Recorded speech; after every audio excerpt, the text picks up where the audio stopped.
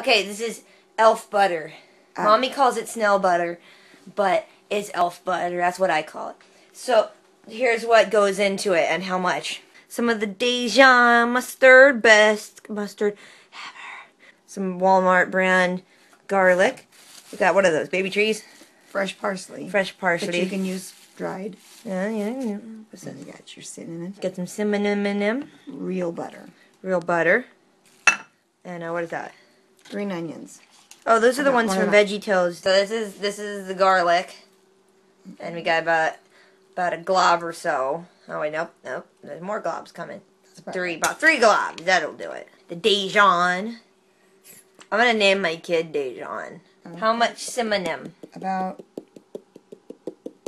that much. Not that much. That's good measurement. Yeah. Some kitchen shears. From the dollar store. They look like uh, kids' scissors, but okay. Okay, long time. No, you just give it a haircut. I don't want. This is riveting, mom. No, that, no, that this- looks This looks not right. beautiful. that much. Oh no, what we gonna do? The king likes Daniel more than me and you. Oh no, what we gonna do? We gotta get him out of here. But um, bum bum, we could throw him in the dungeon.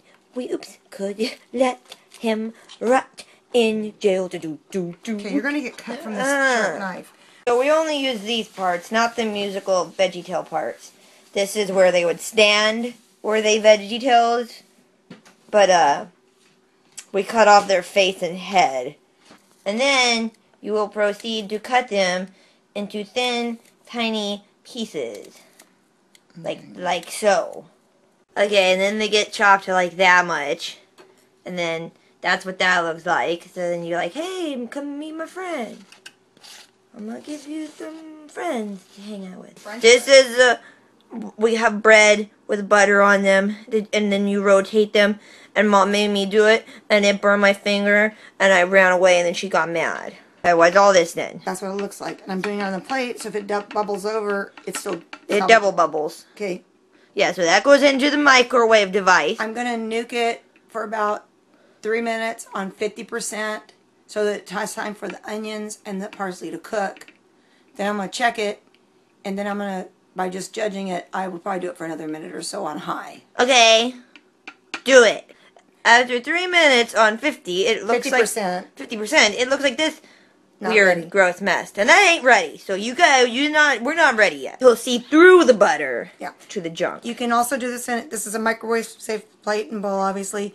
You can do it in oven, in the oven at about 450 until it reaches this stage. Ah, oh, it. I'm gonna eat. And you can't smell how great this I'm gonna eat all of it. Okay, now we're gonna get the bread. The reason I like to buy this, do it this way is because you have a crunchy outside and a nice soft inside, which helps you to be able to sop this stuff up like And a, scoop it. like, like yeah. And you get all that, but you gotta wait because it's hot. So I'm not taking a bite. I, I, ask I, Jessica. I burned my tongue, and now I won't even be able to taste it. Is it good? Okay. Okay, Um. okay.